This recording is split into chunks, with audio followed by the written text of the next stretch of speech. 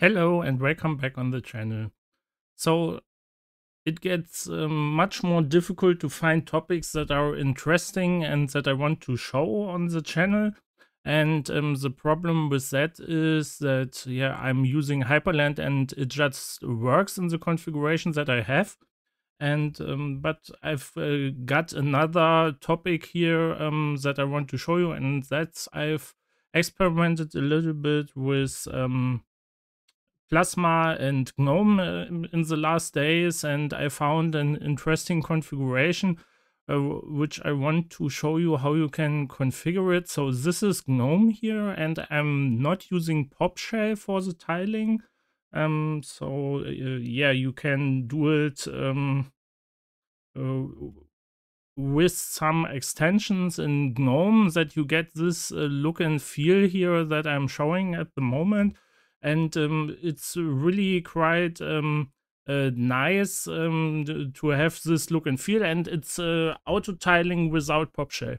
So how uh, did I do that? Uh, that's the thing I want to show you um, today in this video and um, I hope it's an idea perhaps um, that you like and uh, that you want to pick up perhaps. So um, yeah, let's start uh, with this uh, small tutorial here, how you can configure GNOME to look and work like this.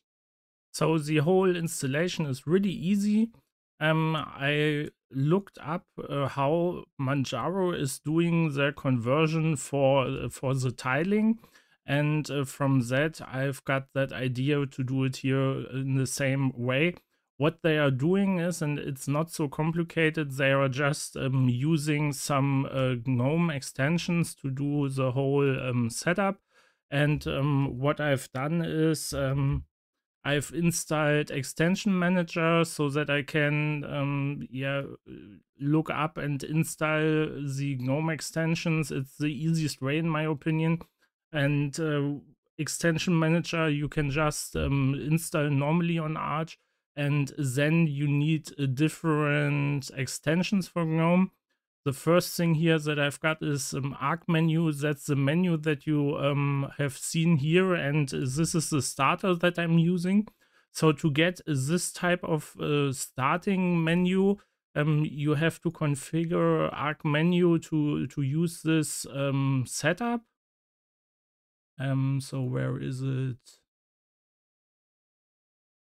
Um, so it's in German here, but um, the options you will find in English, it's at the same positions.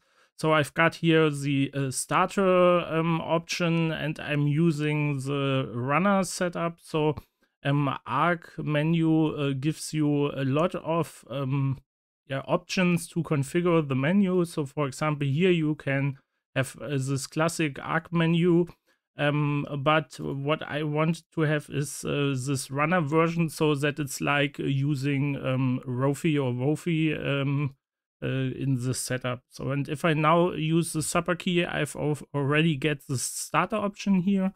And then what we are using is we're using the extension Forge. Forge um, does the whole tiling. Um, here this improvements thing has um, the opportunity to give um, the the look of the top bar um, and spacebar is here that you um, get the uh, desktops shown. So what I will do is I just activate all of them. So I get here the uh, the spaces shown, how you um, yeah normally uh, see them on a um, tiling window manager and uh, yeah the uh, now we've got everything running. It's just that uh, four extensions that give me the whole um, tiling experience here. And um, you configure the tiling setup here in um, in this menu here. So there are options to configure the tiling to your liking. So I've done it so that um, when I've got a single window here that he hides the gaps, but it's uh, quite uh, nice to, uh, you have some options here to configure the look, um, how you want it uh, to have it. And um, then you can just with uh, super and uh, yeah, super and the um, numbers, you can switch between the desktops. And yeah, you can um, from hotkeys open applications or the other thing that you can do is if you um, uh, super um, uh, nee, super and uh, shift, for example, here I can um, move the windows to another space like you would normally assume you can do. Um, yeah, and so I can, for example, here Chrome I've installed as a Flatpak and um, if I'm now um, pushing it here to uh, 4, he uh, takes me with it, and I'm now here on the desktop. So it's a normal tiling behavior. And uh, yeah, with this whole setup, in my opinion, GNOME um, is quite usable. Um, it's a little bit more heavy on my machine because I'm using this external drive as I'm using Hyprland. But perhaps uh, it's something for you and uh, you've got your normal GNOME setup, but uh, can use auto tiling on it. So perhaps you want to give it a try. Thank you for watching and bye.